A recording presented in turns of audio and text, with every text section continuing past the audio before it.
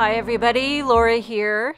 Thank you so much for joining me today. I'm excited to be a part of Tasha and Erica's milestone celebration hop, and I have a very colorful project to share with you. I'm going to be starting with the layered rose leaves die. All of my products are Simon Says Stamp from their latest Dream Big release. So this is actually one big die, but it cuts four different leaves.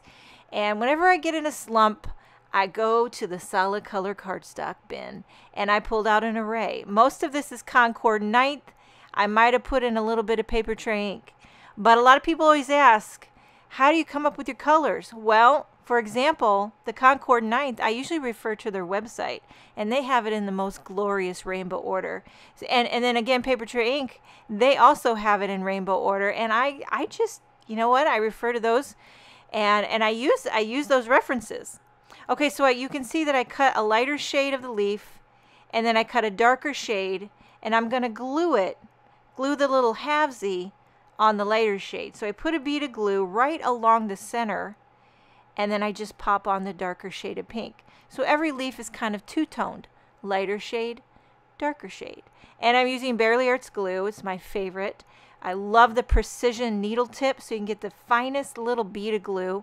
It never clogs Trust me. Listen.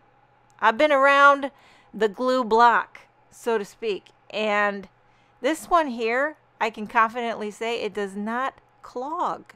Okay, so this is Grapefruit and Sorbet cardstock by Concord Ninth. Now these two, uh, I believe that is Summer Sunrise by Papertrey Ink and then a little Marmalade by Concord Ninth. So sometimes you do a little mix and match. And um, this is lemon tart. Sometimes I know the color, sometimes I don't. Sometimes I remember why I walk in the room. Other times I can't remember if I brushed my teeth today. You know, so that's where I'm at. That's where I'm at. Here's the thing. You want to hear something where I'm at? I, whenever I leave the house, I always complain that my phone doesn't work. I always say my phone doesn't work. I always complain. Finally, uh, my son Charlie, he grabbed my phone. He's like, Mom, for Pete's sake, your cellular data is turned off. How long has it been turned off? That's why your phone doesn't work when you leave the house, Mom. and that is where I'm at, okay? Hanging on by a thread. But I'll tell you what I can do. I can glue some leaves together. And as you can see, I glue it right in the center. And when that dries, I'll be able to lift the outer edge up and zhuzh it. You'll see, we're going to zhuzh. Now I have a panel of white cardstock here. I put a little bit of foam tape on the back of all these leaves to pop them up. Because dimension is life. And, you know, I didn't press real hard because sometimes you change your mind and you got to lift it up and you got to reposition. And that happens. You just go with the flow. Trying to fit in all of these colors start to run out of room. And now we're going to do the big old cropping off the excess. I like to use my paper trimmer. A lot of people prefer to this, use the scissors for this. Do whatever tickles your fancy. I just love the paper trimmer, especially the guillotine. Cuts it sharp, makes you look like you mean business. Now, have I thought of a sentiment for this card? Absolutely, I have not. Uh, but what I say at this point, you could make this card anything. You want to make it birthday? Want to make it thank thank you, want to make it thinking of you, miss you, hugs, anything will go. I really think anything will go. But what I'm doing right now is what I consider one of the most important parts of my day, and that's to zhuzh it up. I'm lifting those halvesy leaves up and kind of manipulating them, giving them a little air. It just really makes this whole thing come to life. Will it get flattened in the envelope? Probably. But hey, it's entertainment in the video, and also it brings me joy. And that's really all that matters.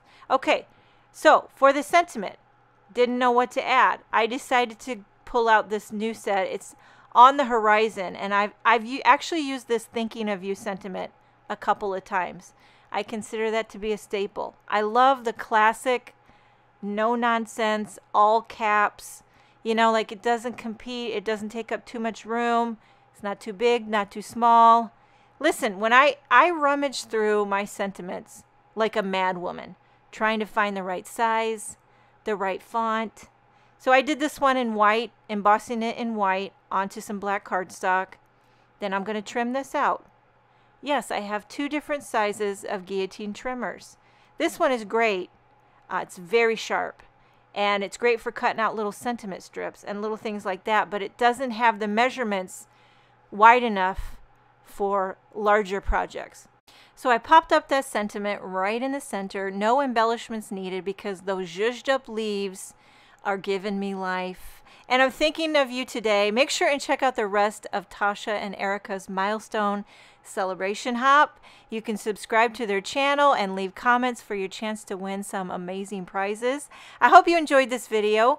Thank you so much for joining me today. Have a wonderful day, and I will see you next time.